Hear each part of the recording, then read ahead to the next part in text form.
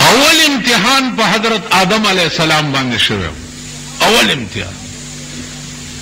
ځکه چې اول ناسن دی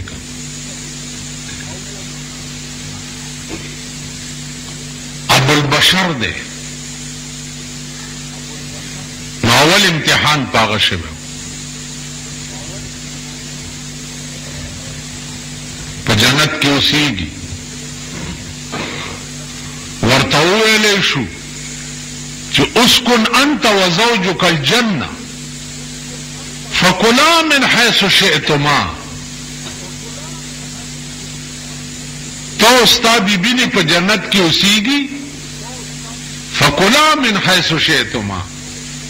دواړه خورئ څکئ چې چرته هم خوښئ لیکن ولا تقربا هذه الشجره فتكونا من الظالمين دې بوټي ته بنه نږدې کېږي که نږدې شوي نو خبني هلته شیطان خو غرق شوی و هغه ډکه خیال وکړو چې د دې آدم علیه السلام په سر باندې ما سره خو دسې وشو دی به اوس ما نه څنګه په جنت کې پاتې کېږي وشکر لله وایه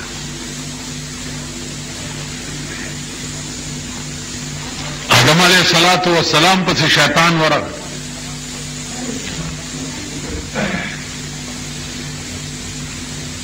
چه دا غنم دانه نه دی د تاسو ولی خدای منی کړی دی د الله حکم نو دی که دا اثر دی چه که دا تاسو خوی ټول عمر به جنت کې پاتې شي کینی تی وباسی بم نه مونږ نه نو د څه چلو که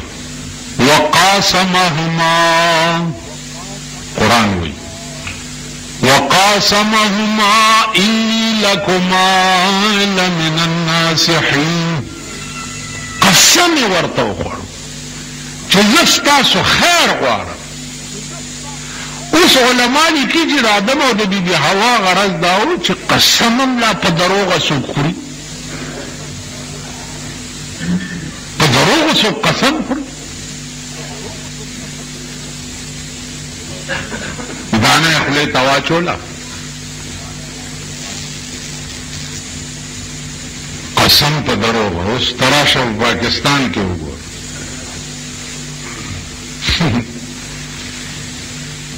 او چې ما ونه ملا تراشي چې دا خبره ده دروغ ده خو قسم ته وخم که نه نو خو بیا به کفاره ورکړي څه کفاره ده یا درې روزي دي یا به لسو مسکینانو له روټۍ ورکړي نو سمجې رالی مونږ له به ډېر خلک راځي چا به د ګردې درد وي د چا به د کوم ځای درد وي د چا به د کوم ځای درد وي دا دا خیر خو چې مالدار راشي ورته توبه مالدار راشي دا ما ته خو راشي که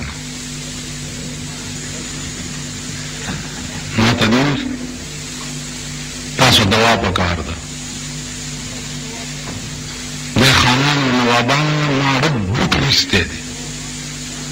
چې کور یې ورانېږي ما نه تپوس نه کوي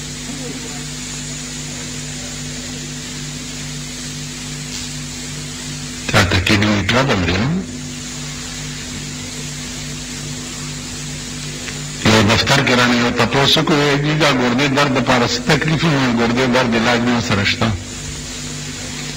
وی چې څه دا روژې راغلې؟ ما روژې راغلې ده ما سره چاړه ده ډېره تېره ده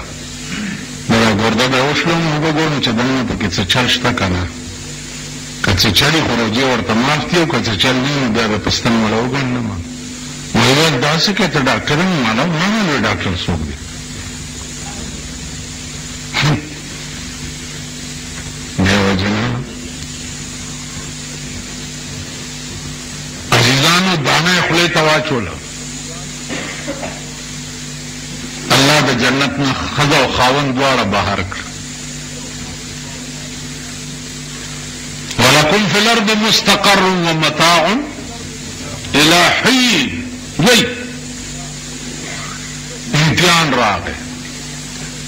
اوس داسې امتحان راغی چې درې سوه کاله آدم علیه السلام د هغه بیبي جدا وو.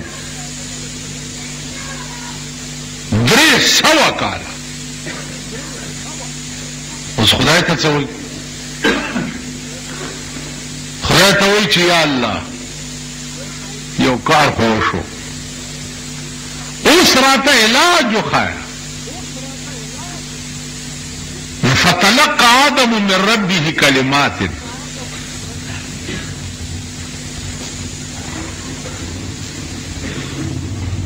آدم علیه السلام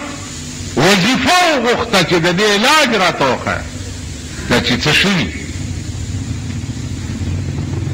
الله ورته ویلي چې وایه ته چې ربنا ظلمنا انفسنا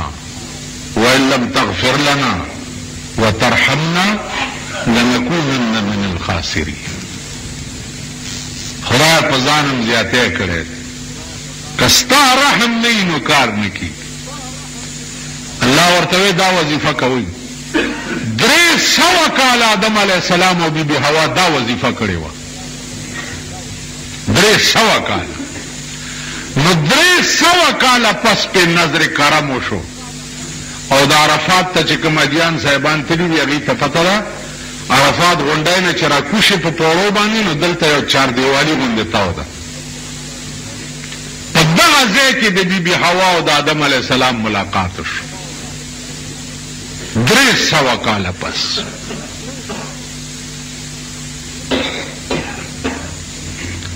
د عرفات میدان ته عرفات وایي ځکه چې دلته د بی بی حوا او د آدم علیه السلام تعارف شوی خپلو کې ځکه دې ځای ته عرفات درې سوه کال نو اشد بلاء الاقرب فالاقرب امتحانات چې دي نو اول الله په مقربینو باندې کړي دي دا څه د ټوکو خبره نه وه نو انعمت علیهم دا خلق دی چې دا الله په دومره لوی عظیم امتحاناتو کې کنه جی کامیاب شو او خدای هیر نه کړ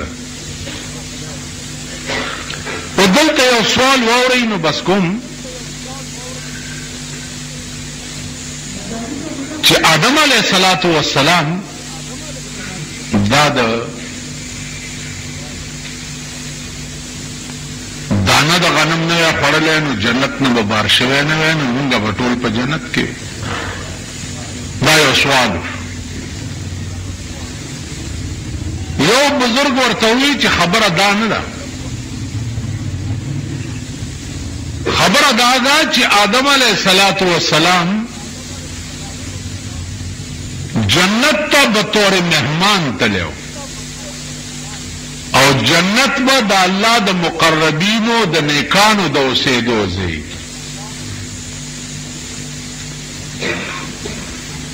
د آدم علیه السلام اولاد چې په جنت کې پیدا کېدل شروع شوی وی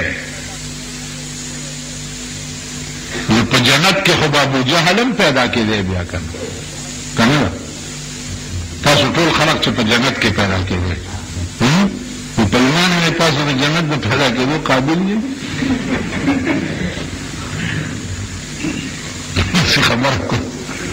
نو موږ د جنت قابل یو چې په جنت کې موږ پیدا دی